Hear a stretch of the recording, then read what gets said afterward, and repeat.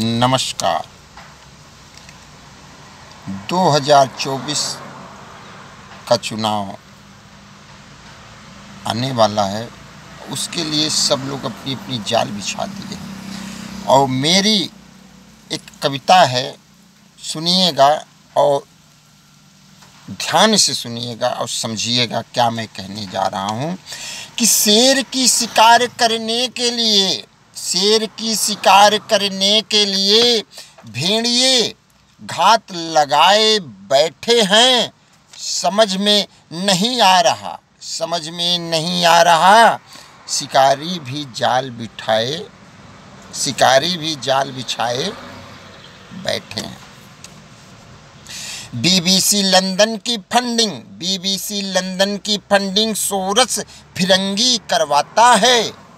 भारत जोड़ो यात्रा में सेठी को राहुल का साथी बनवाता है।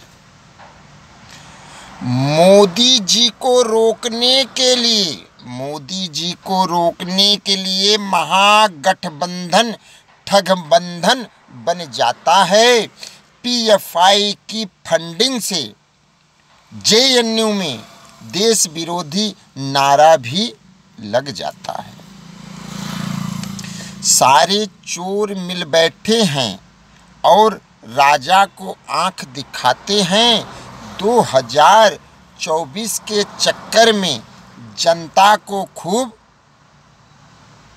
लड़वाते हैं। रामकृष्ण को बांटा भी, खूब गालियाँ भी दिलवा रहे वेद पुराण को।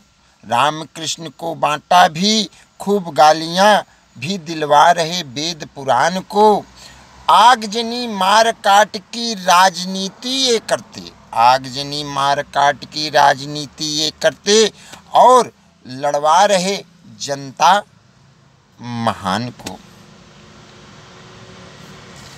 आगे क्या है?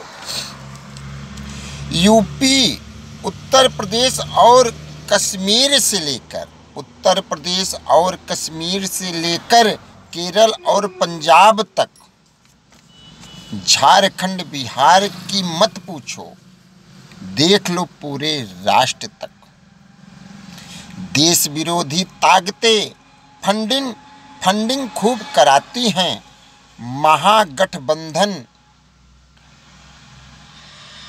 आव भाव को, महागठबंधन के आव भाव को देख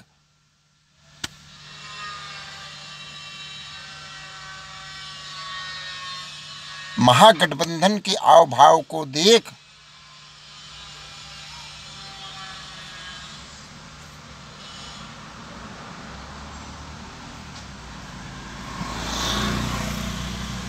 पहुंचो सच्ची बात।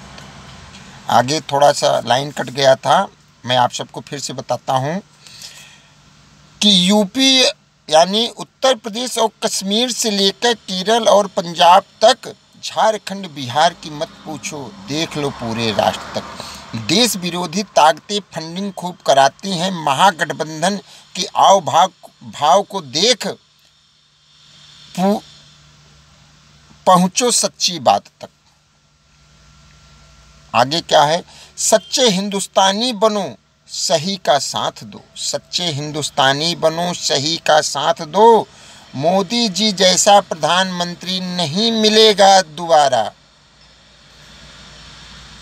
इस बार भी उनका साथ दो। मोदी जी जैसा प्रधानमंत्री नहीं मिलेगा दोबारा, इस बार भी उनका साथ दो।